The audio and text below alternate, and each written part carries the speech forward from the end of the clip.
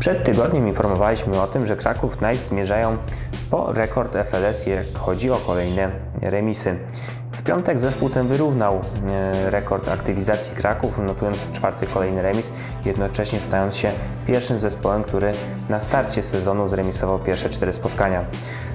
Zdobyty punkt z pastuchami na pewno nie jest powodem do zadowolenia, bo Kraków nawet prowadziło w tym spotkaniu i wydawało się, że wreszcie osiągnie po 3 punkty.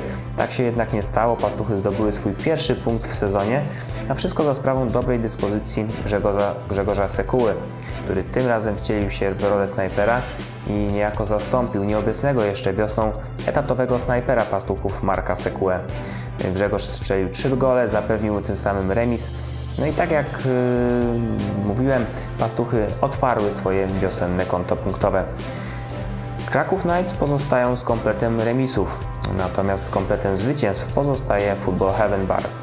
Wydawałoby się trudnym pojedynku z CSA Jugowice Football Heaven wygrało aż 7 do 1 i w tym samym zrównało się punktami z Amadeusem, który także w lidze C2 pozostaje z kompletem punktów.